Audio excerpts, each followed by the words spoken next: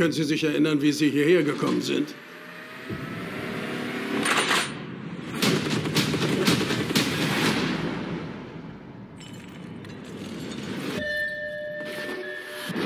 Ganz ruhig.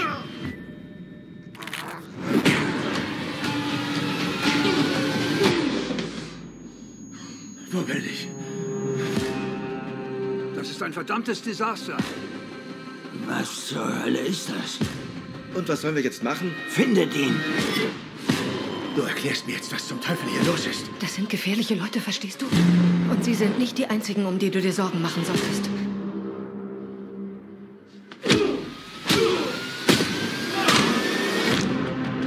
Wieso bin ich hier? Bin ich einer von den Guten oder von den Bösen?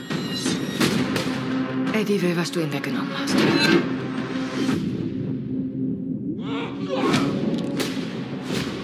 Gehirnoperation. Komm her. Ich hatte eine Gehirn-OP? Ja? Sie. War nur ein Scherz. Kommen Sie schon. Wir dachten, du wärst tot. Wer ist wir? Kein, du gehörst zur DEA. Du arbeitest seit fünf Jahren undercover. Du bist einer der besten Agenten, die wir haben.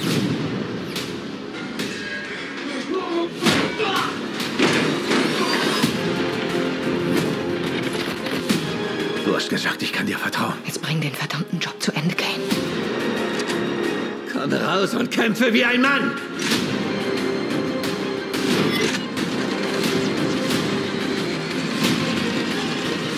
So habe ich mir diesen Tag eigentlich nicht vorgestellt.